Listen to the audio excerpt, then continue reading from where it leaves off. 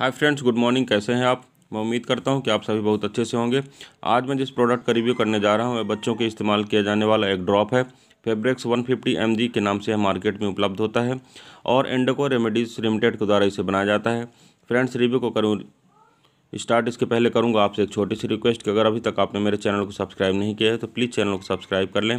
Bell icon को भी press करें ताकि आने वाले सारे वीडियोज़ की नोटिफिकेशन आप तक आ जाएँ और आप मेरा कोई भी वीडियो को मिस ना करें।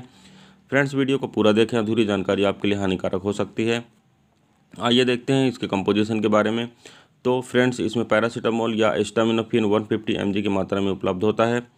फ्रेंड्स, आइए अब देखते हैं इसके प्रमुख इस्तेमाल के बारे में। बुखार को दूर करने के लिए और शरीर के दर्द को दूर करने के लिए इस मेडिसिन का इस्तेमाल किया जाता है। इस मेडिसिन का अगर प्राइस की बात की जाए तो 15 एम की एक बॉटल एट्टीन रुपीज़ का मार्केट में उपलब्ध होता है। डिफरेंट फार्मा ऐप के द्वारा आप इस मेडिसिन को कुछ कम कीमत पर भी प्राप्त कर सकते हैं।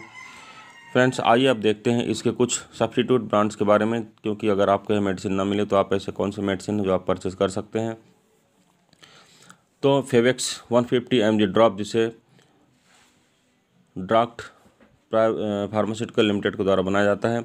मेडिमोल जिसे सिनकेम के द्वारा बनाया जाता है। सी थर्टी सेवन जिसे नेवल लेबोरेटरीज़ के द्वारा बनाया जाता है। ओरोमोल जिसे एम्बायोटिक लेबोरेटरीज़ के द्वारा बनाया जाता है। और ओरोमोल जिसे एम्बायोटिक तो मैंने पहले आपको बता दिया उसके द्वारा बनाया जाता है। तो फ्रेंड्स, सेम कंपोजिशन के साथ मार्केट में कुछ ऐसे अलग ब्रांड उपलब्ध हैं जिन्हें आप परचेस कर सकते हैं। इस मेडिसिन का इस्तेमाल जनरली बुखार को दूर करने के लिए और दर्द को दूर करने के लिए किया जाता है। इसका इस्तेमाल सिर दर्द, जोड़ों का दर्द, मांसपेशियों का दर्द, दांत दर्द आदि स्थितियों को दूर करने के लिए भी किया जाता है।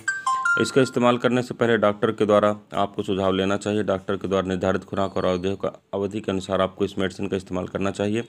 इस्तेमाल करने से पहले लेबल की जाँच करना चाहिए, एक्सपायरी डेट चेक करना चाहिए और इस मेडिसिन को भोजन के साथ जनरली दिया जाता है।